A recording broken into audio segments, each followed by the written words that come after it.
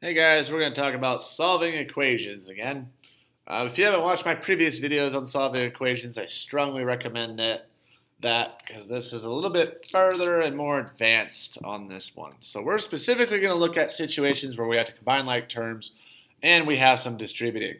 So we're going to solve the following. Now, Again, the focus on getting x alone. But if we look at this problem, this setup, right now I have 4x minus 7x plus 8 equals 20. If I look at the left side of this equals sign, things aren't exactly cleaned up yet. There's multiple x's there. I can condense that down before I even start to think about how I'm going to solve it and what piece to move. So I'm not going to draw my line down the middle quite just yet. What I want to do is I want to clean this up just a little bit. So I see like terms. Remember, some like terms are like when you see a 5x and a 2x. You can combine those and say, all right, add them together, that's 7x. If you see integers like 8 minus 3, you can combine those and say that is 5. So cleaning up what we can. So looking at this, I have 4x minus 7x, which is negative 3x. All I did is I took 4 minus 7, which is negative 3, still have the x hanging around. So I combine this 4x minus 7x, I get negative 3x, still have that plus 8 hanging out because I haven't touched that, still have the equals 20. So just like that, by combining like terms, now I'm starting to look like an equation that I've solved before. So again, the goal is to try and get x by itself, and to figure out what pieces need to be moved and when, we're still going to be working PEMDAS, the order of operations backwards. We're going to get rid of addition, subtraction first, then multiplication and division, then exponents, then parentheses. So I'm ready to draw my line in. I'm ready to work this equation out. We've got to get x by itself. I uh, got to get rid of addition, subtraction first. So the opposite of plus 8 is a minus 8 to both sides. 8 minus 8 is 0, so on the left side I have a negative 3x. On the right side I have 20 minus 8, which is 12. Uh, now I'm ready to work. This is multiplication here, negative 3 times x. The opposite of multiplying by negative 3 is dividing by negative 3 on both sides. When you multiply and divide by the same number there, a lot of kids like to say they cancel out, really divides to 1. Um, so we have x. On the right side, we have 12 divided by negative 3, which is negative 4. So x equals negative 4. Going to hit you with another example here. We have 7x plus 2x minus 3 minus 7 equals 35. Again, let's look and check and see, is there anything I can do to clean this all up before I start solving? Are there like terms? So I'm looking on the left side. I'm seeing x is showing up twice.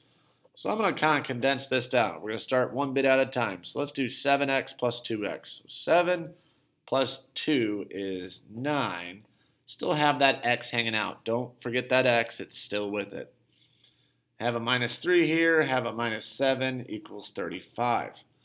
I'm almost there. If you look, I also have some integers here that can combine. I have a negative. So you can see I'm following the sign in front of it. Negative 3 minus 7. I can combine these two, negative 3 minus 7.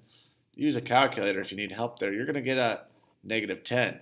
Still didn't touch that 9x, so I brought down the 9x, negative 3 and negative 7. Give me that negative 10. Still need that equal, still need that 35. Now that I've condensed it down, this is looking a lot better, a lot closer to things I have solved, so I'm going to draw that line in, start solving, doing that order of operations backwards. The opposite of subtracting 10 is adding 10 to both sides. Negative 10 plus 10 is 0, so on the left side I have a 9x. On the right side, 35 plus 10 is 45. Still have to solve for x there. Divide by 9. Divide by 9. x equals 5. Because 45 divided by 9 is 5. x equals 5. One last example I want to show you. On the back side, 7 parentheses 2x minus 1 parentheses equals 21. Now, I will tell you there are multiple ways about going about approaching this problem and solving it. Depending on how complex you get with solving equations, uh, one of the methods doesn't work all the time. another method will work every single time. So I'm going to use and show you the method that works every single time. Anytime I see parentheses, I immediately want to get rid of them. Okay, so when I see a number out front like 7 and I see parentheses, I'm looking at this thinking, you know what, I think I want to distribute this. Get rid of the parentheses so we can solve. So I'm going to take this 7, we're going to multiply it all the way through all the way through this parentheses. So I'm going to take 7 times 2x. So 7 times 2 is 14. Don't forget your x. But I don't just multiply there. I got to take this 7 times the negative 1. 7 times negative 1. 7 times negative 1 is negative 7. Uh, I didn't touch the right side, which is equal to 21. So just like that, I had something that looked a little bit foreign to me, did some distributing, and cleaned it up. You should always probably distribute, clean up those parentheses, combine like terms. Once we have that, then I can draw in my line down the middle, and we're going to start solving this. We've got to get x by itself. So I'm going to start by order of operations backwards. Got to get rid of that minus 7, which means I'm on plus 7 on both sides. So I have 14x equals minus 7 plus 7 is 0.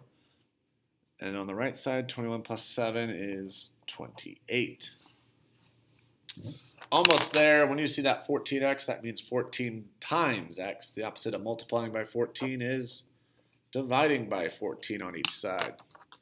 Uh, when you multiply and divide by 14, those divide to 1, so we just get an x. Again, most students, they'll say they cancel there. That's fine. Uh, on the right side, 28 divided by 14, that is 2. So we get x equals 2. Moral of the story here is before you draw on that line to start solving, always look and see if you can combine like terms, whether that be the x's, your variables, or your integers like negative 3 and negative 7. If you see parentheses, I would go ahead and distribute there and then solve from there after combining like terms. So that was solving equations dealing with combining like terms and distributing.